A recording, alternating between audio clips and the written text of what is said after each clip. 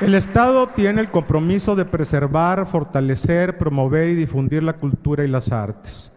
Lo extenso de nuestro territorio genera una diversidad cultural muy notoria, lo que nos lleva a reconocer la necesidad de que el Plan Estatal de Desarrollo en materia de cultura esté conformado por planes microregionales que establezcan las estrategias y líneas de acción que realmente correspondan a la realidad de las diferentes zonas de la de Tamaulipas.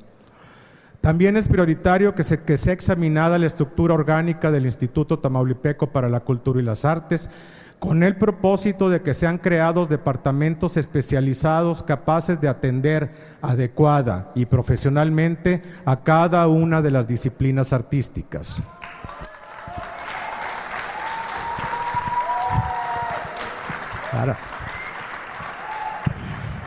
La continuidad de los programas culturales es prioritario para asegurar un desarrollo sustentable y eficaz. La aproximación entre el arte y la sociedad son un rasgo distintivo en los objetivos de los festivales culturales, que representan también acentos significativos dentro de las actividades cotidianas de la agenda de cualquier organismo de cultura. Durante el presente año, el Festival Internacional Tamaulipas llegará a su doceava edición. Es digno reconocer la destacada participación de la sociedad civil en los procesos de gestión, procuración de recursos y operación de este magno evento. Conscientes de que el cambio propicia el crecimiento, es indiscutible que el formato del festival debe replantearse, considerando la inclusión de actividades de carácter académico que nos lleven a reflexionar sobre los fenómenos y movimientos culturales de nuestros tiempos. En el aspecto artístico, aparte del perfil internacional que lo caracteriza, que la presencia de nuestros creadores sea dignificada y que reciban el apoyo necesario para la producción de eventos dignos de exportación. En el ámbito de los magníficos espacios culturales con los que contamos, es apremiante la necesidad de que exista una verdadera red estatal de organismos públicos descentralizados para lograr una coordinación efectiva entre cada uno de ellos y que no sigan trabajando como hasta ahora de manera aislada. Los primeros en regocijarnos cuando se crea un organismo de este tipo somos los artistas tamaulipecos. Los primeros en reconocer que son foros para presentar eventos de indiscutible calidad también somos los artistas tamaulipecos. Y desgraciadamente sé de muchos casos en que los primeros en tener obstáculos para mostrar nuestras propuestas en estos espacios también hemos sido los artistas tamaulipecos. Es apremiante que se abran las puertas de los teatros y galerías para que los creadores del Estado y que no recibamos como premio de consolación la oportunidad de proyectarnos en espacios alternativos creados especialmente para nosotros en vestíbulos o pequeñas salas.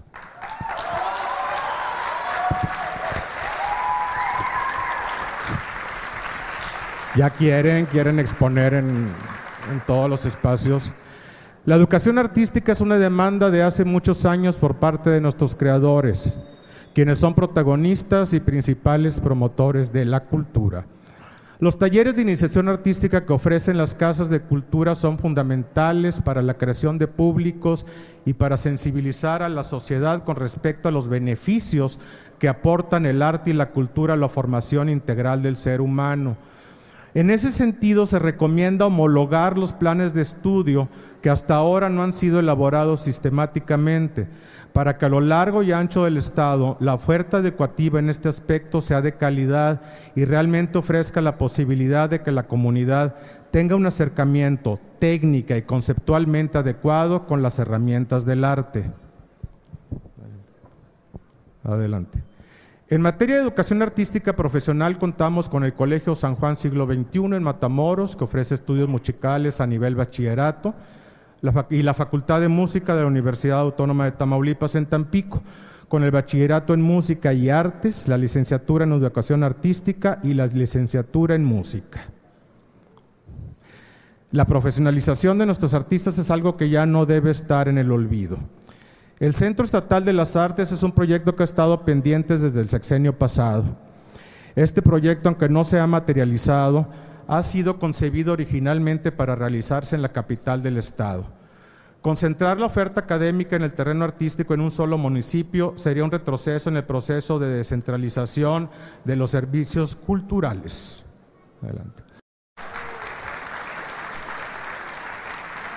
De igual manera, porque resulta prioritario y merecido considerar la factibilidad de crear un fondo estatal para el retiro del artista.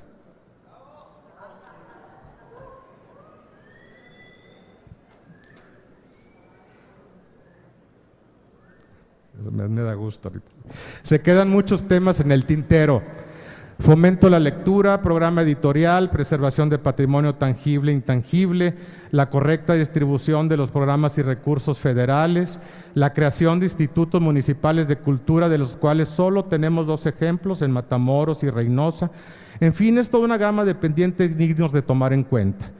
No hay que perder la esperanza de que llegue el día en que la cultura y el arte se conviertan en artículos de consumo de primera necesidad, teniendo siempre presente la frase que hace más de mil años dijera el historiador griego. La cultura es un adorno en la prosperidad y un refugio en la adversidad. Muchas gracias. Para que tú Estés mejor.